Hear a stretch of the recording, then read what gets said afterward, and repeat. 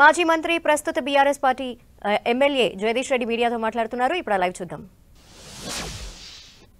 పూర్తి చేసుకోండి చట్టంలో ఉంది.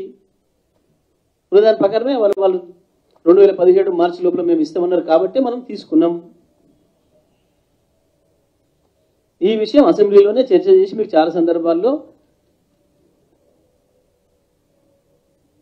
మీకు జ్ఞానోదయం కలిగించినాం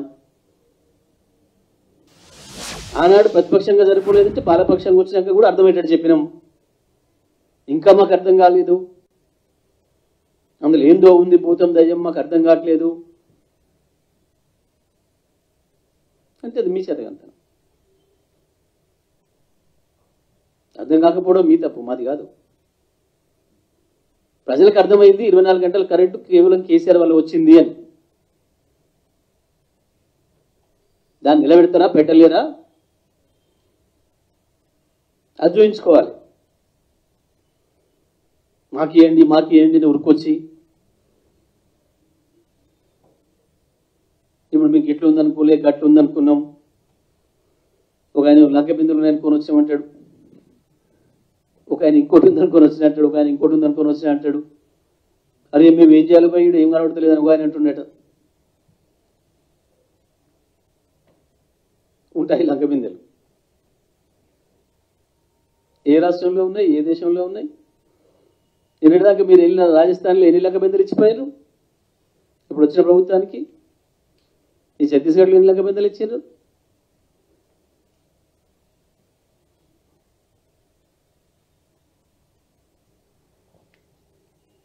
కర్ణాటకలో ఎన్ని ఉన్నాయి? ఎన్ని గంటలు కరెంట్ ఇస్తున్నారు?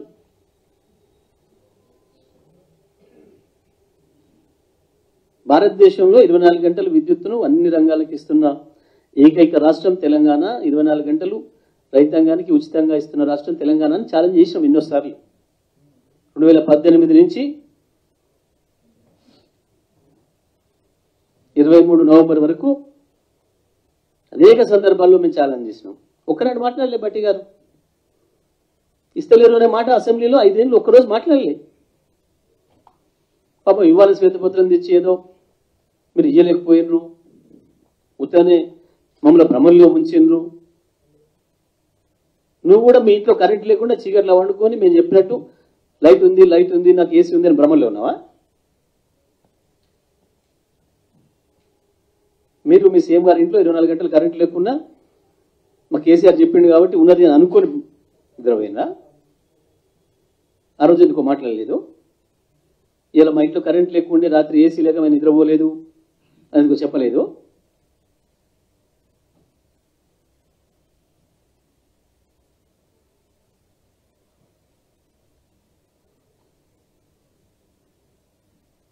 ఇంకా ఇంకా ఎక్కువ రోజులు ఇట్లా అబద్ధాల మీద నడుపుతానని చెప్పి అనుకోకండి. ప్రజలకు ఇచ్చిన హామీలు ఏందో వాటిని ఎట్లా ఇస్తారో ఎట్లా నెరవేరుస్తారో ప్రజాపాలన పేరు మీద అప్లికేషన్లు పెట్టమన్నారు. మేము ఇవ్వదలుచుకున్న పథకాలు ఏది అప్లికేషన్ లేకుండా నేరుగా వచ్చినాము పెట్టమన్నారు. ప్రజలు వచ్చి మమ్మల్ని అడుగుతున్నారు. సార్ అన్ని అడిగిరు కానీ మమ్మల్ని బ్యాంక్ అకౌంట్ అడగలేదు ఏంది? దాంట్లో బ్యాంక్ అకౌంట్ ఏమని ఇవ్వాలి ఎక్కడ? మరి మా బ్యాంక్ అకౌంట్ ఇవ్వని లేదు మాకు ఎన్ని వేస్తారు పైసలు అడుగుతున్నారు రైతులు.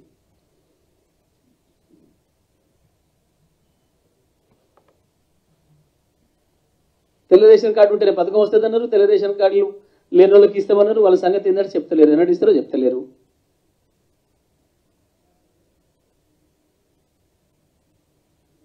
మరి దాంట్లో అడగవచ్చు కదా తెల్ల రేషన్ కార్డు ఉందా లేదా లేకుంటే లేదని ట్రిక్ పెట్టి ఉంటే ఉందని ట్రిక్ పెట్టి అని అడగవచ్చు కదా. అది అడగలే. బ్యాంక్ అకౌంట్ నెంబర్ రాయిందా నువ్వు కాలం పెట్టలే.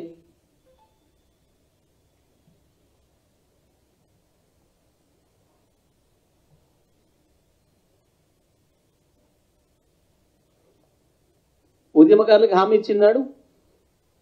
ఎఫ్ఐఆర్లో మీ పేరు ఉండాలి అని అడగాలి చెప్పలే దాంట్లో. ఎఫ్ఐఆర్లో పేర్లు ఉన్న వాళ్ళకే ఇస్తాం జైలు పోయిన వాళ్ళకే ఇస్తాం అని చెప్పలే.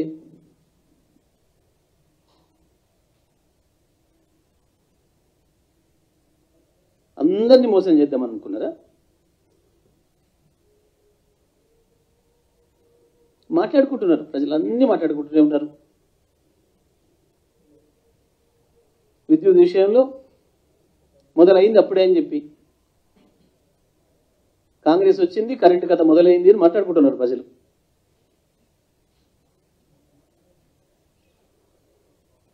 కేసీఆర్ లేని లోటు ఏందో కూడా అప్పుడే చూస్తూనే ఉన్నారు ప్రజలు.